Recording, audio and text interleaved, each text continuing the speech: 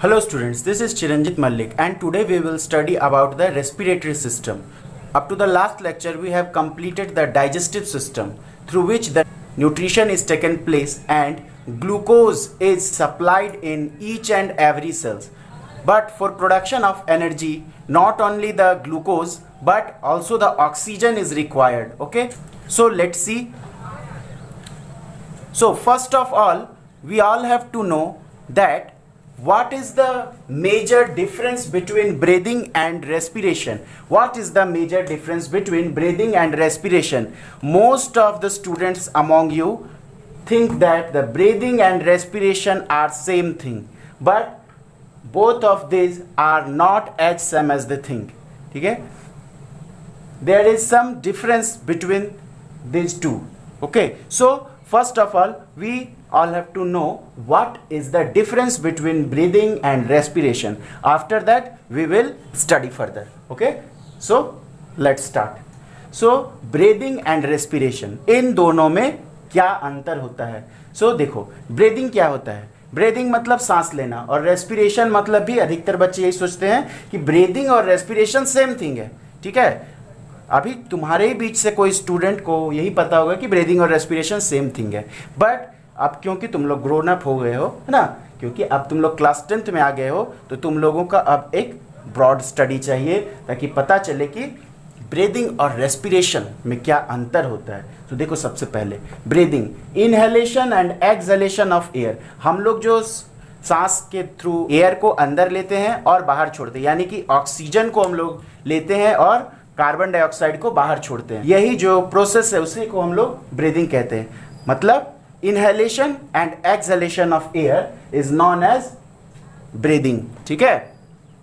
सिर्फ़ हवा को अंदर लिए और फिर बाहर छोड़े। यही दो प्रोसेस है जो ब्रीदिंग के अंतर्गत है। अब अंदर जाके उस एयर के साथ क्या हुआ, है ना? उससे हमको कोई लेना देना नहीं है। तो वो है ब्रीदिंग का काम।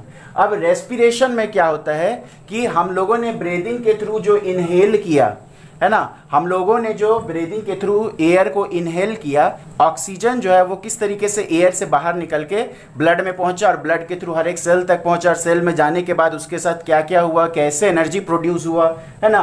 वो सब पढ़ना हम लोगों को रेस्पिरेशन में। उसके बाद एनर्जी प्रोड्यूस होने के बाद कार्बन डाइऑक्साइड कैसे प्रोड्यूस हुआ और जो हम लोग एक्सेलेशन में कार्बन डाइऑक्साइड को रिलीज़ करते हैं, वो कैसे प्रोड्यूस हुआ, ये सारा मैकेनिज्म हम लोग रेस्पिरेशन में पढ़ते हैं। मतलब ब्रीदिंग और ब्रीदिंग में क्या हुआ कि सांस लेना छोड़ना, यही होता है ब्रीदिंग और रेस्पिरेशन मतलब कि जो हम लोग सांस में अंदर लिए, उसके साथ क्या क्या हुआ, उस हवा के साथ, है ना? और कार्बन डाइऑक्साइड जो छोड़ रहे हैं, वो कैसे बना, ये सारा प्रोसेस हम लोग रेस्पिरेशन में पढ़ेंगे. So respiration is not as simple as you think okay ये बहुत ही कॉम्प्लेक्स प्रोसेस है.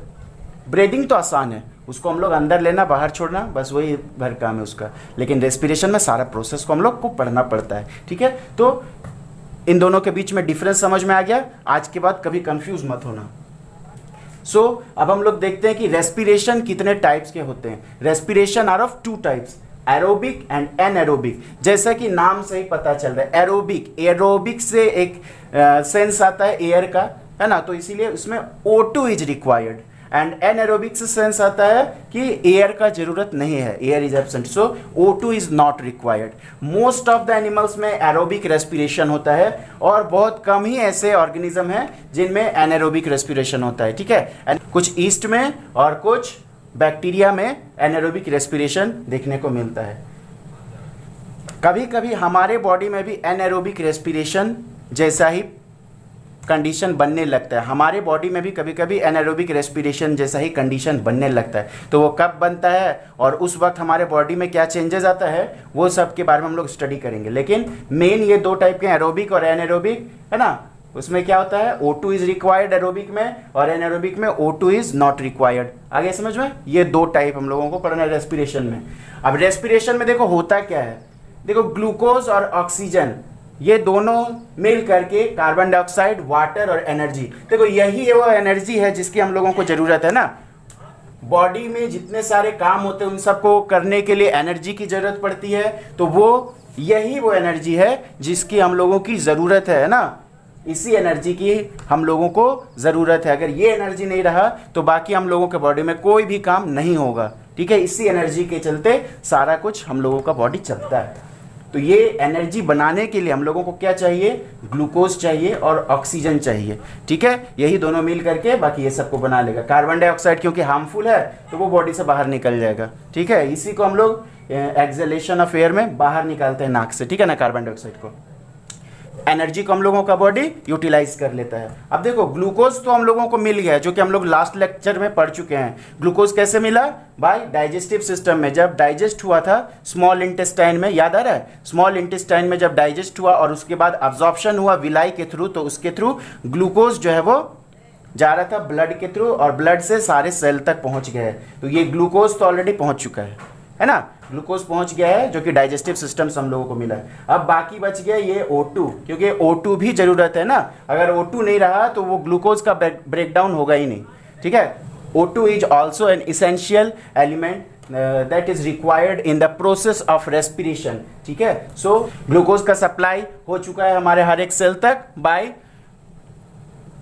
डाइजेस्टिव सिस्टम और ये ऑक्सीजन का सप्लाई कैसे होगा? ये होगा रेस्पिरेटरी सिस्टम के थ्रू ठीक है? अब वो कैसे होगा ऑक्सीजन कैसे आएगा हमारे बॉडी में? वो हम लोग देखते हैं। अब जैसे कि हम लोगों ने बताया था कि जैसे जैसे बॉडी में सेल्स की संख्या घटती जाती है, वैसे वैसे बॉडी का कॉम्प्लेक्सिटी भी घटता जाएगा और जितना सेल बढ़ता जाएगा, उतना ज़्यादा कॉम्प्लेक्सिटी बढ़ता जाएगा, क्योंकि जो यूनिसेल्युलर एनिमल होता है है ना? यूनिसेलुलर ऑर्गेनिज्म होता है, उसका पूरा सेल ही जो है वो एनवायरनमेंट के डायरेक्ट कांटेक्ट में है। तो उसका पूरा सेल को ऑक्सीजन मिल ही रहा है। तो उसमें रेस्पिरेटरी सिस्टम का कोई काम ही नहीं है तो उसमें रेस्पिरेटरी सिस्टम नहीं होगा। लेकिन जो कॉम्प्लेक्स एनिमल होते हैं, जो बड़े साइज़ के एनिमल होते हैं जस्ट लाइक अस है ना? ह्यूमन बींग ह्यूमन बींग के हर एक सेल तक ऑक्सीजन पहुँच पाना, ये पॉसिबल नहीं हो पाता है, ठीक है? क्योंकि ह्यूमन बींग के बॉडी का हर एक सेल जो होता है, वो एनवायरनमेंट के डायरेक्ट एक्सपोजर में नहीं होता है ना? डायरेक्ट कांटेक्ट में नहीं होता है, जिसके वजह से हर एक सेल तक ऑक्सीजन पहुँचाने के लिए एक अलग जो है, जिस तरह डाइजेस्टिव सिस्टम था, उसी तरह हम लोगों के बॉडी में रेस्पिरेटरी सिस्टम होता है, जो कि हर एक सेल तक ऑक्सीजन को पहुँचाने का काम करता है। तो उसके बारे में हम लोग अभी स्टडी करते हैं। देखो। तो समझ में आ गया ग्लूकोज का आ गया डाइजेस्टिव सिस्टम से ऑक्सीजन आएगा रेस्पिरेटरी सिस्टम से, दोनों मिलेगा, ये ऑक्सीजन इसको क्या करेगा? ग्लूकोज को तोड़ेगा, है ना? और तोड़ता है तो इसको क्या बोलते हैं? ग्लूकोज जब भी टूटेगा किसी भी बायोलॉजी या फिर केमिस्ट्री में जब भी किसी चीज़ का टूटने का नाम आता है तो टूटने के लिए लाइसिस लाइसिस वर्ड इस्तेमाल किया जाता है, ठीक है ना? लाइसिस। और जब किसी चीज़ के बनने का प्रोसेस होता है तो उसमें जेनेसिस हम लोग लिखते हैं, ठीक है? ये दोनों वर्ड याद रखना। बायोलॉजी में अगर कोई चीज़ टूटता है तो उसे लाइसिस लिखते हैं, और जब बनता है तो उसे जेनेसिस लिखते हैं, ठीक है? जेनेसिस मतलब जनरेट होना, बनना। लाइसिस मतलब टूटना। जैसे ग्लाइकोलाइसिस हो गया और फिर उसी तरह हम लोगों ने डाइजेस्टिव सिस्टम में बताया था कि जो लीवर से ग्लाइकोजन से ग्लूकोज बनता है है ना? ग्लाइकोजन टूटकर ग्लूकोज बनता है, उसको हम लोग क्या बोलते हैं? ग्लाइकोजिनोलाइसिस ठीक है ना? तो ठीक इसी तरीके से ये होगा, ठीक है? अब देखो अलग अलग ऑर्गेनिज्म में रेस्पिरेशन के टाइप्स क्या क्या है ना? अलग अलग ऑर्गेनिज्म में अलग अलग टाइप से रेस्पिरेशन होता है। जैसे जो हायर ऑर्गेनिज्म है just like us human beings human beings में क्या होता है? एरोबिक रेस्पिरेशन होता है। एरोबिक रेस्पिरेशन में हमेशा एन एरोबिक रेस्पिरेशन से हम लोगों ने दो टाइप का रेस्पिरेशन पढ़ा था ना? हम लोगों ने दो टाइप का रेस्पिरेशन पढ़ा था क्या क्या एरोबिक एंड एनएरोबिक रेस्पिरेशन ठीक है? एरोबिक रेस्पिरेशन में हमेशा एनएरोबिक रेस्पिरेशन से ज़्यादा अमाउंट में एनर्जी बनेगा, ठीक है? एरोबिक रेस्पिरेशन में हमेशा ज़्यादा अमाउंट में एनर्जी बनेगा in comparison to anaerobic respiration ठीक है? अब क्योंकि हमारा बॉडी ज़्यादा कॉम्प्लेक्स है है ना? We are multicellular so हम लोगों को एनर्जी की नीड ज़्यादा है, ठीक है? हम लोगों को एनर्जी की नीड ज़्यादा है, और उस एनर्जी की नीड को एनर्जी की नीड को पूरा करने के लिए हम लोगों में एरोबिक रेस्पिरेशन ही होना चाहिए। अदरवाइज़ अगर एनएरोबिक रेस्पिरेशन होता है हमारे बॉडी में तो हर एक सेल का एनर्जी नीड पूरा नहीं हो सकता है because in anaerobic respiration, a little amount of energy is produced, which is not sufficient for human beings, okay? So, हम लोगों में एरोबिक रेस्पिरेशन होता है। सो अब देखो एरोबिक और एनएरोबिक रेस्पिरेशन में प्रोसेस क्या है? किस टाइप से एनर्जी में कन्वर्ट हो जाता है ग्लूकोज है ना? सो so, देखो सबसे पहले क्या होता है? ग्लूकोज जो है वो साइटोप्लाज्म में जाता है। सेल तक पहुँच गया था ना? ग्लूकोज ब्लड जो है वो डाइजेस्टिव सिस्टम से है ना? यानी कि विलाई जो है वो उसको अब्जॉर्ब किया था। स्मॉल इंटेस्टाइन से अब्जॉर्ब किया था ग्लूकोज को। और उसके बाद उसको ब्लड में भेज दिया था। अब ब्लड क्या किया था? सारे सेल तक पहुँचा दिया। ठीक है? ग्लूकोज को। अब ये ग्लूकोज क्या करेगा? सेल के साइटोप्लाज्म तक जाएगा। ठीक है? साइटोप्लाज्म में इसके साथ क्या होगा? इन एबसेंस ऑफ़ ऑक्सीजन चाहे किसी भी तरीके का आ, वो रेस्पिरेशन हो है ना? एरोबिक हो या एनएरोबिक हो। एरोबिक रेस्पिरेशन में हम लोग पढ़ते हैं कि प्रेजेंस ऑफ़ ऑक्सीजन ऑक्सीजन का प्रेजेंस होना बहुत ज़रूरी है एरोबिक में है ना? और एनएरोबिक में एब्सेंस ऑफ़ ऑक्सीजन लेकिन यहाँ पर जो साइटोप्लाज्म में जो रिएक्शन होगा उसमें ऑक्सीजन नहीं चाहिए ठीक है ना? उसमें ऑक्सीजन नहीं चाहिए। चाहे वो तुम्हारा एरोबिक हो या एनएरोबिक हो उससे कोई फ़र्क नहीं पड़ता। लेकिन ग्लूकोज का जो ग्लूकोज से जो पायरुवेट बनेगा, उस प्रोसेस के लिए वो एरोबिक हो या एनएरोबिक हो ऑक्सीजन एब्सेंस रहेगा, जो कि साइटोप्लाज्म में होता है ना? साइटोप्लाज्म में ऑक्सीजन एब्सेंस रहेगा। और उस ऑक्सीजन के एब्सेंस वाले एनवायरनमेंट में ग्लूकोज जो है वो पायरुवेट में कन्वर्ट होगा इन द साइटोप्लाज्म और इस प्रोसेस को हम लोग कहते हैं ग्लाइकोलाइसिस ग्लाइको मतलब ग्लूकोज और लाइसिस मतलब होता है टूटना. सो so, ग्लूकोज टूटता है और टूट कर क्या बना लेता है? पायरुवेट कैसे टूटता है? देखो ग्लूकोज जो है वो ग्लूकोज जो है वो सिक्स सिक्स कार्बन कंपाउंड है ना? छह कार्बन होता है। C six H twelve six लिखते हैं ना? तो ये सिक्स कार्बन कंपाउंड है, जबकि पायरुवेट थ्री कार्बन कंपाउंड है ना? बाकी का थ्री कार्बन कहाँ चला गया? वो टूट कर अलग हो गया ना कार्बन डाइऑक्साइड बन गया। ठीक है? सो ग्लूकोज टूट करके पायरुवेट बनाता है। ठीक? तो ये प्रोसेस सब में सेम होगा, चाहे वो एरोबिक हो या एनएरोबिक हो, दोनों में सेम होगा। ठीक है ना? ग्लूकोज से पायरुवेट बनना। ठीक? अब देखो अब जो एनएरोबिक रेस्पिरेशन होता है, वो दो टाइप का होता है। एनएरोबिक रेस्पिरेशन दो टाइप का होता है। एक तो होता है, जो हम लोग सिंपल जानते हैं कि एब्सेंस ऑफ़ ऑक्सीजन ऑक्सीजन उसमें नहीं चाहिए। ठीक है ना? जब किसी भी सेल में ऑक्सीजन एब्सेंस हो, है ना? तो उसमें एनएरोबिक रेस्पिरेशन होता है। जैसे कि हम लोग ईस्ट में जानते हैं कि ईस्ट में जो है वो ऑक्सीजन एब्सेंट होता है कंप्लीटली एब्सेंस तो उसमें एनएरोबिक रेस्पिरेशन होता है। ये हम लोग जानते हैं। लेकिन हमारे बॉडी में भी हमारे बॉडी में भी कभी कभी एनएरोबिक रेस्पिरेशन वाली कंडीशन बनने लगती है। कब बनेगी एनएरोबिक रेस्पिरेशन वाली कंडीशन हमारे बॉडी में? जब हम लोग बहुत ज़्यादा विगोरस एक्सरसाइज कर ले, है ना? बहुत ज़्यादा एक्सरसाइज करने से या फ़िज़िकल वर्क करने से क्या होता है? हमारे मसल्स में सही अमाउंट में सफिशियंट अमाउंट में ऑक्सीजन नहीं पहुँच पाता है। ठीक है?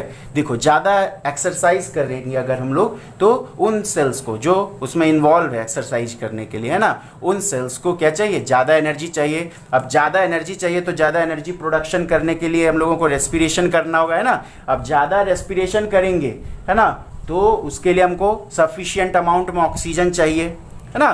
सफिशियंट अमाउंट में ऑक्सीजन चाहिए। तो सफिशियंट अमाउंट में ऑक्सीजन की सप्लाई करने के लिए हम लोग क्या करते हैं? हाँफने लगते हैं ज़ोर ज़ोर से सांस लेने लगते हैं, ठीक है? देखना कभी भी तुम बहुत ज़्यादा फ़िज़िकल वर्क करो या फिर एक्सरसाइज करो तो हाँफने लगोगे ज़ोर ज़ोर से सांस लेने लगोगे। ऐसा क्यों होता है आखिर? ताकि हमारे मसल सेल्स में जो एनर्जी की ज़रूरत है, उसको पूरा करने के लिए सफिशियंट अमाउंट में ऑक्सीजन की सप्लाई हो सके, है ना? बट अगर फिर भी इस ऑक्सीजन से भी जो हम लोग ज़ोर ज़ोर से सांस लेकर जो ऑक्सीजन की सप्लाई कर रहे हैं, उस ऑक्सीजन से भी अगर काम ना बने, ठीक है ना? वो ऑक्सीजन भी अगर कम पड़ जाए बॉडी के लिए, तब क्या होता है? हमारे बॉडी में एनएरोबिक रेस्पिरेशन शुरू हो जाता है उन मसल सेल्स में, ठीक है? और एनएरोबिक रेस्पिरेशन, क्योंकि हमारा बॉडी बना हुआ है एरोबिक रेस्पिरेशन के लिए, ठीक है ना? हमारा बॉडी बना हुआ है एरोबिक रेस्पिरेशन के लिए, लेकिन उसमें अगर एनारोबिक रेस्पिरेशन होना शुरू हो जाता है तो कॉम्प्लिकेशन तो हो, होगा ही, ठीक है ना? कॉम्प्लिकेशन आएगा ही। तो मसल सेल्स में जब एनारोबिक रेस्पिरेशन होने लगता है तो हमारे मसल्स में बहुत ज़्यादा दर्द होने लगता है, ठीक है ना? क्रैम्प्स होने लगता है एठन शुरू हो जाता है। कभी भी देखे होगे कि जो फ़र्स्ट फ़र्स्ट जो जाता है जिम जिम जाता है जो पहले पहले और बहुत ज़्यादा एक्सरसाइज कर लेता है ना तो उसके बॉडी में क्या होता है कि फ़र्स्ट दिन में तो बहुत ज़्यादा दर्द होता है उसे, ठीक है ना? जो भी गया होगा, उसे महसूस हुआ होगा। ठीक है ना? बहुत ज़्यादा दर्द होता है। ये जो मसल्स हैं, उनमें ऐठन शुरू हो जाता है। दर्द होता है। क्यों? क्योंकि जो एनारोबिक रेस्पिरेशन हो रहा है उन सेल्स में, उन सेल्स में फिर लैक्टिक एसिड बनने लगता है। क्यों? क्योंकि ग्लूकोज का कंप्लीट ऑक्सीडेशन नहीं हो पाया। कंप्लीट ब्रेकडाउन नहीं हो पाया ग्लूकोज जिसके वजह से वो क्या हो गया? कंप्लीट ब्रेकडाउन नहीं हो पाने की वजह से ग्लूकोज कन्वर्ट हो जाएगा पायरुवेट में और फिर पायरुवेट कन्वर्ट हो जाएगा। लैक्टिक एसिड में उसका कंप्लीट ऑक्सीडेशन नहीं हो पाया। और वो लैक्टिक एसिड जब मसल्स में जाकर जमा हो जाता है तो फिर दर्द होता है। ठीक है? सो so, अब हम लोग दोनों टाइप का पहले एनारोबिक रेस्पिरेशन को देख लेते हैं। ईस्ट में जो एनारोबिक रेस्पिरेशन होता है उसके लिए तो एब्सेंस ऑफ़ ऑक्सीजन उसके लिए तो ऑक्सीजन चाहिए ही नहीं है ना? वो कंप्लीट एब्सेंस ऑफ़ ऑक्सीजन में होगा। देखो, ये वाला प्रोसेस सब में सेम रहेगा एरोबिक हो या एनारोबिक हो। यहाँ तक तो समझ में आ गया था ना ग्लूकोज से पायरुवेट बनेगा in the cytoplasm in absence of oxygen and the process is known as glycolysis ये प्रोसेस सेम होगा सब में। अब पायरुवेट जो है वो ईस्ट सेल में उसका क्या होगा? जो ईस्ट होता है, एक फंजाई का नाम है ना ईस्ट एक फंजाई का नाम है, जिसका यूज़ किया जाता है ब्रेड बनाने में, शराब बनाने में केक बनाने में ना तो इनको यूज़ किया जाता है। तो ईस्ट जो है वो एक यूनिसेल्युलर फंजाई है, ठीक है ना? वो फंजाई क्या करता है? Complete absence of oxygen yeast cell में हो रहा है कंप्लीट एब्सेंस ऑफ़ ऑक्सीजन जिसके वजह से पायरुवेट कन्वर्ट हो जा रहा है इथेनॉल कार्बन डाइऑक्साइड और एनर्जी में। ठीक है? तो अगर कोई पूछे कि एनारोबिक रेस्पिरेशन ईस्ट में, उसका पूरा प्रोसेस बताओ। ईस्ट में एनारोबिक रेस्पिरेशन का पूरा प्रोसेस बताओ तो हम लोग क्या बताएँगे कि पहले ग्लूकोज जो है, वो साइटोप्लाज्म में ऑक्सीजन के एब्सेंस में ग्लाइकोलिसिस करता है और पायरुवेट बनाता है। फिर ये पायरुवेट क्या करता है? पायरुवेट क्या करता है? ऑक्सीजन के एब्सेंस में कन्वर्ट हो जाता है इथेनॉल, कार्बन डाइऑक्साइड और एनर्जी में। ठीक है? ये कंप्लीट प्रोसेस है एनारोबिक रेस्पिरेशन इन ईस्ट में। अब दूसरा एनारोबिक रेस्पिरेशन का टाइप है इन मसल सेल्स। जो हमारे मसल सेल्स में होता है, उसमें थोड़ा सा प्रोसेस अलग है। यहाँ तक तो सेम रहेगा। ठीक है यहाँ तक तो सब में सेम रहेगा। उसके बाद क्या होगा कि यहाँ पर देखो कंप्लीट एब्सेंस ऑफ़ ऑक्सीजन था है ना? लेकिन यहाँ पर ऑक्सीजन है बट सफिशियंट अमाउंट में नहीं है है ना? सो so, यहाँ पर वर्ड इस्तेमाल होगा लैक ऑफ़ ओ टू ठीक है? लेक ऑफ़ ओ टू यानी कि ऑक्सीजन की कमी ना कि ऑक्सीजन का एब्सेंस है ना? इसमें कंप्लीट एब्सेंस था इसमें ऑक्सीजन की कमी है। कंप्लीट एब्सेंस नहीं है ना? ऑक्सीजन है बट सफिशियंट अमाउंट में नहीं है ये बात है। सो इन मसल सेल्स में लैक ऑफ़ ऑक्सीजन वो कन्वर्ट हो जाएगा पायरुवेट लैक्टिक एसिड और कार्बन डाइऑक्साइड और एनर्जी में। ठीक है? इसमें भी जो एनर्जी बना, वो सफिशियंट अमाउंट में नहीं बनेगा। कम अमाउंट में बना है ना? इसीलिए हम लोग एक्सरसाइज करते करते थक जाएँगे, क्योंकि ये जो एनर्जी बन रहा है, बहुत कम अमाउंट में बन रहा है। है ना? तो लैक्टिक एसिड भी जाके जमा होगा मसल्स में, ताकि, जिसके वजह से दर्द होने लगेगा, और क्योंकि एनर्जी भी कम बन रहा है तो हम लोग थक जाते हैं। क्योंकि मसल्स को एनर्जी भी सही से नहीं मिल पा रहा है। ठीक? तो लैक्टिक एसिड कार्बन डाइऑक्साइड और एनर्जी बनेगा इसमें। तो अगर पूछेगा कि मसल सेल्स में पूरा प्रोसेस बताओ एनारोबिक रेस्पिरेशन कैसे होता है तो हम लोग यहाँ से पूरा बोलेंगे। पहले तो ग्लूकोज जो है साइटोप्लाज्म में ऑक्सीजन कैप्सन्स में ग्लाइकोलाइसिस करके क्या बनाता है? पायरुवेट बनाता है। और फिर वो पायरुवेट ऑक्सीजन की कमी में कन्वर्ट हो जाता है लैक्टिक एसिड कार्बन डाइऑक्साइड और एनर्जी में। बस ये प्रोसेस है पूरा। मसल सेल्स में एनारोबिक रेस्पिरेशन का। अब आता है हम लोगों का एरोबिक रेस्पिरेशन जो मेजरली होता है। Most of the organisms respire through aerobic respiration ठीक है? नाम से ही पता चल रहा है। एरोबिक मतलब क्या हो रहा है? एयर का सेंसर है ना? तो एरोबिक मतलब in the presence of oxygen ठीक है? सफिशियंट अमाउंट में ऑक्सीजन इसको मिलेगा। तो क्या होगा? कि ग्लूकोज पायरुवेट में कन्वर्ट होगा साइटोप्लाज्म में इन एब्सेंस ऑफ़ ऑक्सीजन इसमें भी एब्सेंस ऑफ़ ऑक्सीजन ग्लाइकोलिसिस जो होगा वो एब्सेंस ऑफ़ ऑक्सीजन में ही होगा चाहे वो एरोबिक हो या एनारोबिक हो कोई फ़र्क नहीं पड़ता है। सो so, ग्लूकोज जो है वो साइटोप्लाज्म में एब्सेंस ऑफ़ ऑक्सीजन में ग्लाइकोलिसिस करेगा और पायरुवेट बनाएगा। और फिर ये पायरुवेट जो है वो साइटोप्लाज्म से कहा चला जाएगा? माइटोकॉन्ड्रिया में। सेल के बारे में पढ़े हो ना? क्लास नाइन्थ में पढ़े होगे सेल के बारे में। ये रहता है पूरा सेल सेल के अंदर पूरा साइटोप्लाज्म भरा हुआ रहता है है ना? और इसके अंदर ये न्यूक्लियस रहता है माइटोकॉन्ड्रिया रहता है है ना? इस टाइप से, ठीक फिर तुम्हारा गॉल्जी बॉडी रहता है एंडोप्लाज्मिक रेटिकुलम रहता है, इस तरह बहुत सारे सेल ऑर्गेनल रहते हैं। तो ये साइटोप्लाज्म में तो तुम्हारा हो गया ग्लाइकोलिसिस ठीक है? ग्लाइकोलिसिस के बनने के बाद ये पायरुवेट बना। ये पायरुवेट अब एंटर करेगा कहा? माइटोकॉन्ड्रिया में। और ये mitochondria in presence of oxygen oxygen के प्रेजेंस में। यहाँ पर अब ऑक्सीजन का रोल आएगा, ठीक है ना? यहाँ पर विदाउट ऑक्सीजन के प्रेजेंस का काम नहीं होने वाला है माइटोकॉन्ड्रिया में। सो इन माइटोकॉन्ड्रिया में क्या होगा? प्रेजेंस ऑफ़ ऑक्सीजन ऑक्सीजन के प्रेजेंस में ये पायरुवेट जो है, वो कंप्लीट ब्रेकडाउन होकर क्या बना लेगा? कार्बन डाइऑक्साइड वाटर और एनर्जी ठीक है? देखो, इसमें कंप्लीट ब्रेकडाउन हो गया। ठीक है? कार्बन डाइऑक्साइड वाटर और एनर्जी में कन्वर्ट हो जाएगा। ये कार्बन डाइऑक्साइड हम लोग रिलीज़ कर देंगे बॉडी से बाहर, है ना? जो कि सांस में हम लोग छोड़ते हैं। और ये एनर्जी बॉडी यूटिलाइज करेगा फॉर एटीपी प्रोडक्शन ठीक है? एटीपी बनाने में इस एनर्जी का यूज़ होगा। एटीपी का नाम तो सुने होगे ना? एडिनोसिन ट्राइफॉस्फेट एडिनोसिन ट्राइफॉस्फेट बनाने में इस एनर्जी का यूज़ होगा। आगे समझ में? देखो तो फिर पूरा अगर पूछेगा कि एरोबिक रेस्पिरेशन का पूरा प्रोसेस बताओ तो क्या बताएँगे? In cytoplasm, glucose is converted into pyruvate in absence of oxygen which is also known as glycolysis. After that the pyruvate enters in the mitochondria where in the presence of oxygen it converted into carbon dioxide, water and energy and this energy is this energy is utilized in the production of ATP and the whole process is known as Krebs cycle ठीक है? Mitochondria में जो process हो रहा है, उसे हम लोग क्रैप साइकिल कहेंगे। यहाँ पर जो प्रोसेस होगा, वो ग्लाइकोलिसिस कहेंगे। और बाकी ये सारे जो प्रोसेस है, वो साइटोप्लाज्म में ही हो जाएँगे, ठीक है ना? ये वाला प्रोसेस भी जो है वो साइटोप्लाज्म में ही होगा, उसको अब माइटोकॉन्ड्रिया में एंटर करने की ज़रूरत नहीं है। माइटोकॉन्ड्रिया में अगर एंटर करता है तो उसको ऑक्सीजन चाहिए होगा, ठीक है ना? तो इसमें ना तो इसमें तो ऑक्सीजन ही एबसेंट है तो इसमें ऑक्सीजन उसको मिलेगा नहीं, है ना? तो माइटोकॉन्ड्रिया में एंटर करने से कोई फ़ायदा नहीं है। इसमें भी माइटोकॉन्ड्रिया में नहीं एंटर करेगा क्योंकि इसमें लैक ऑफ़ ऑक्सीजन ऑक्सीजन है बट कम है। तो उससे भी काम चलने वाला है नहीं। इसमें ही माइटोकॉन्ड्रिया में ये एंटर करेगा ठीक है ना? क्योंकि इसमें प्रेजेंस ऑफ़ ऑक्सीजन है ठीक? वो भी सफिशियंट अमाउंट में है। सो so, यहाँ इस प्रोसेस को हम लोग कहते हैं क्रैप साइकिल और जितना सिंपल दिख रहा है ना उतना है नहीं ठीक है ना? ग्लूकोज से पायरुवेट ऐसे ही नहीं बन गया कि ये में।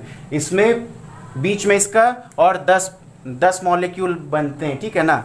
वो दस मॉलिक्यूल बीच में और बनेंगे, ठीक है? ग्लूकोज से ग्लूकोज सिक्स फॉस्फेट फिर ग्लूकोज सिक्स फॉस्फेट से फ्रक्टोज सिक्स फॉस्फेट ठीक है?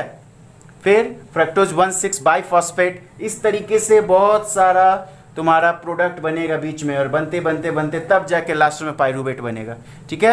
ये पायरुवेट फिर यहाँ जाएगा माइटोकॉन्ड्रियम है ना? माइटोकॉन्ड्रियम में जाके ये पायरुवेट कन्वर्ट होगा। एसिटाइल को ए में, ठीक है ना? पायरुवेट एसिटाइल को ए में कन्वर्ट होगा। तो बहुत ही कॉम्प्लेक्स प्रोसेस है रेस्पिरेशन जो कि क्लास इलेवेंथ में पढ़ना है पूरा, ठीक है?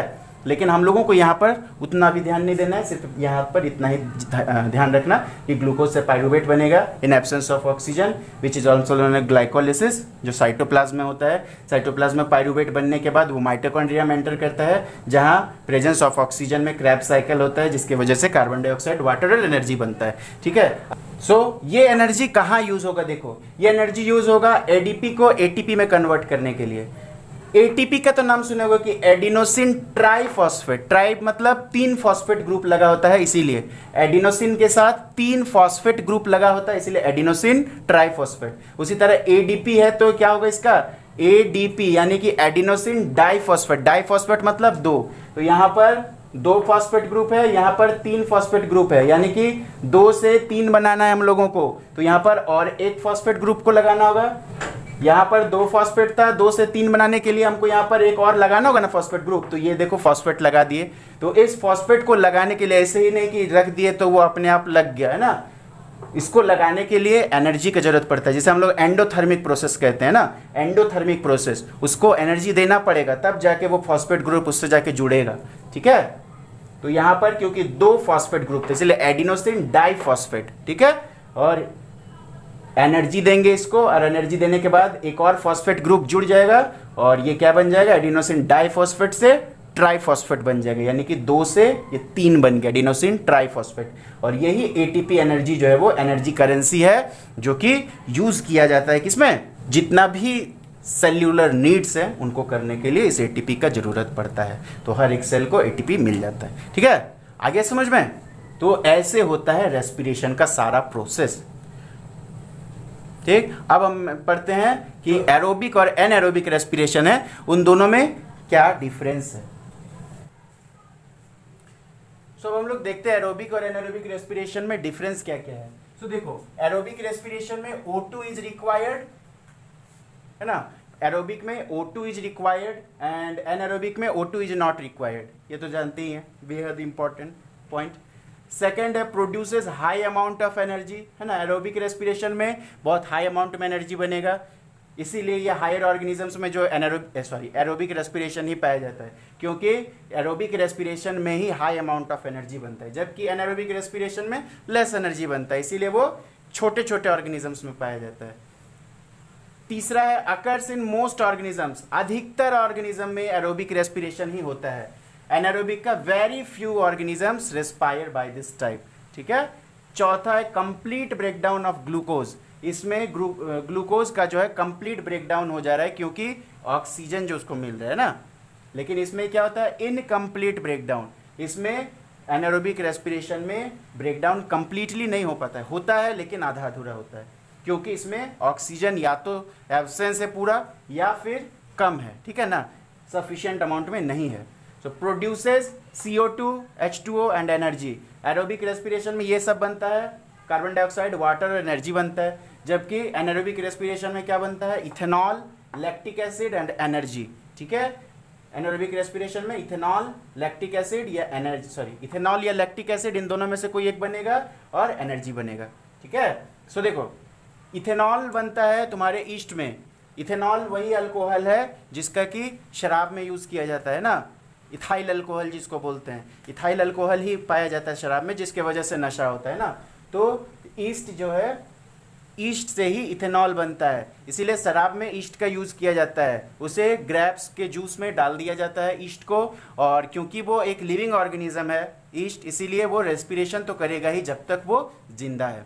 जब तक वो ज़िंदा है, तब तक वो रेस्पिरेशन करेगा, और जब तक रेस्पिरेशन करेगा, तब तक इथेनॉल जो है वो बनता रहेगा है ना? और इथेनॉल बनता रहेगा तो ग्रैप्स के जूस में इथेनॉल का कंटेंट बढ़ जाए इसी तरीके से शराब बनता है। इस प्रोसेस का यूज़ कर लिया जाता है किसमें? इंडस्ट्रियली यूज़ कर लिया जाता है वाइन प्रोडक्शन में। दूसरा लैक्टिक एसिड बनता है तो लैक्टिक एसिड बनता है anaerobic respiration in muscle cells में ठीक है ना? मसल सेल्स में जब एनारोबिक रेस्पिरेशन हो जाता है ड्यू टू विगोरस एक्सरसाइज है ना? सो so, उसमें लैक्टिक एसिड बनना शुरू हो जाता है जिसके वजह से क्रैम्प्स होता है। है ना? क्रैम्प्स मतलब मसल्स में एठन शुरू हो जाता है, ठीक है? मसल्स में एठन क्यों शुरू होता है? क्रैम्प्स क्यों होता है? Due to due to storage of lactic acid in muscle cells और एनर्जी तो बनेगा बट बहुत कम अमाउंट में। फिर छठा है mitochondria is involve aerobic respiration में माइटोकॉन्ड्रिया इन्वॉल्व रहेगा, है ना? क्योंकि उसमें जो ऑक्सीजन वाला पार्ट है है ना? जिसमें ऑक्सीजन काम आएगा, वो माइटोकॉन्ड्रिया में ही होगा, यानी क्रैप साइकिल माइटोकॉन्ड्रिया में ही होगा। लेकिन एनारोबिक रेस्पिरेशन में, क्योंकि ऑक्सीजन ही नहीं है तो उसका माइटोकॉन्ड्रिया से कोई लेना देना नहीं है। तो इसमें एनारोबिक रेस्पिरेशन में mitochondria is not involve okay so this is the introduction about the respiration अब नेक्स्ट क्लास में हम लोग पढ़ेंगे रेस्पिरेटरी सिस्टम के बारे में, ठीक है? कि रेस्पिरेटरी सिस्टम जो हायर ऑर्गेनिजम्स में लोअर ऑर्गेनिजम्स जो होते हैं यूनिसेलुलर ऑर्गेनिज्म उनमें तो रेस्पिरेटरी सिस्टम होता ही नहीं है है ना? क्यों? क्योंकि उनका पूरा सेल जो है वो एनवायरनमेंट के कांटेक्ट में होता है। सो so, वो डायरेक्टली एनवायरनमेंट से ऑक्सीजन ले लेते हैं। तो उनमें रेस्पिरेटरी सिस्टम का होना होने का कोई मतलब ही नहीं होता है ना? लेकिन जो हायर ऑर्गेनिजम्स होते हैं, उनके हर एक सेल तक पहुँचा पाना ऑक्सीजन जो है वो मुश्किल होता है, क्योंकि हर एक सेल एनवायरनमेंट के डायरेक्ट एक्सपोजर या फिर डायरेक्ट कांटेक्ट में नहीं होता है। इसलिए हर एक सेल तक पहुँचाने के लिए एक सिस्टम चाहिए बॉडी में, जिसे हम लोग कहते हैं रेस्पिरेटरी सिस्टम और इस रेस्पिरेटरी सिस्टम के बारे में हम लोग नेक्स्ट लेक्चर में डिस्कस करेंगे। तो आज का लेक्चर यही ख़त्म करते हैं। सो पढ़ाई करते रहिए बेस्ट